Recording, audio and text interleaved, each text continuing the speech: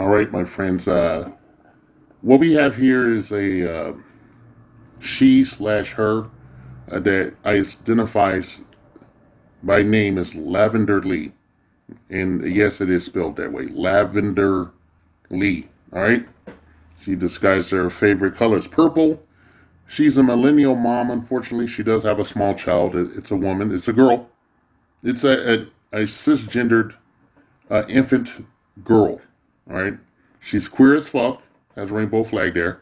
She has special skills, uh, thrifting, and she loves sex. Right. She loves sex. I've seen her social media, and she does have some some stuff there that indicates that she loves being uh, queer. You know, and going, you know, the tongue between the middle fingers deal.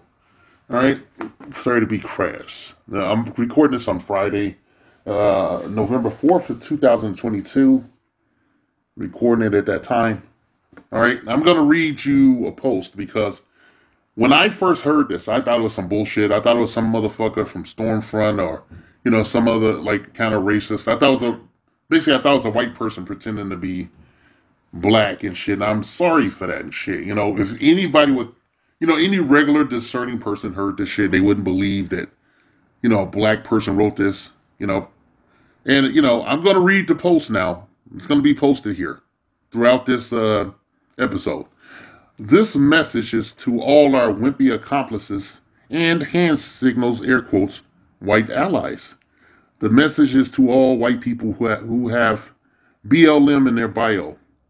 Lavynder Lee says in the TikTok selfie video that has her Instagram handle and words listen and learn at the top.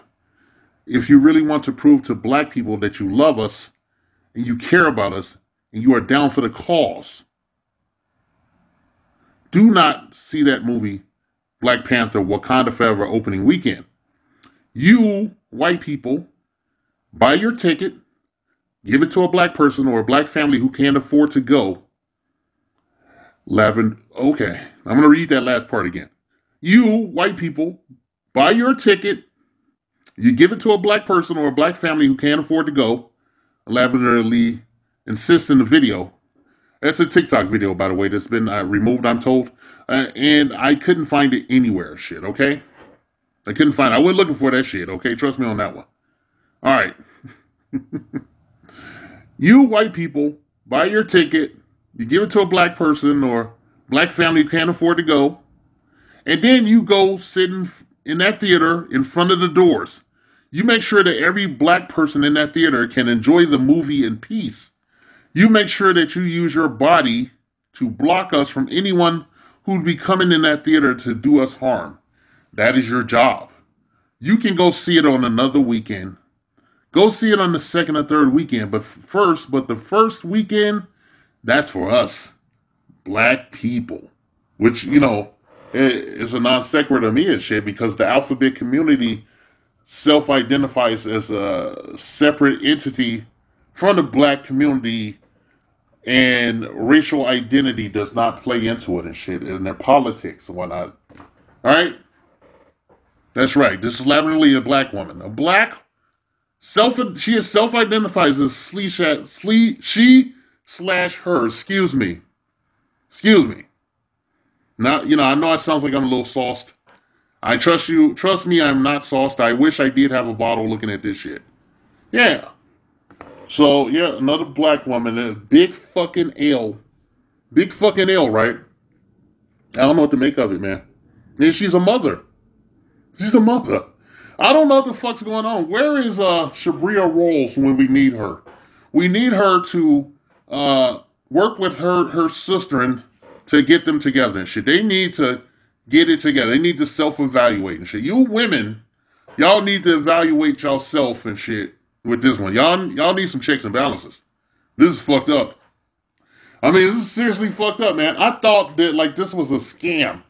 I thought some bullshit. It's like some troll doing this. Maybe she is a troll. Maybe she's like one of these uh, swirlers or something. I don't know. I can't tell. The kid looks fully black. I'm looking at the fucking kid right now.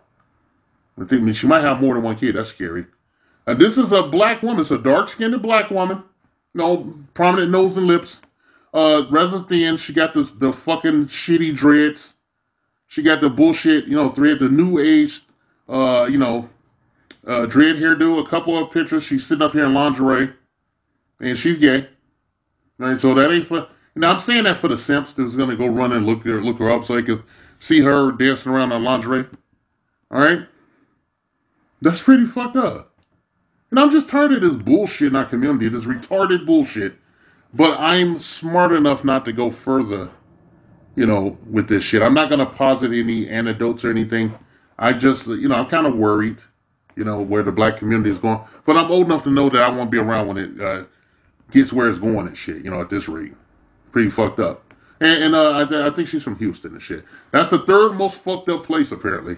You know, behind Chicago, number one, and Atlanta for fucked up out of pocket black people and shit.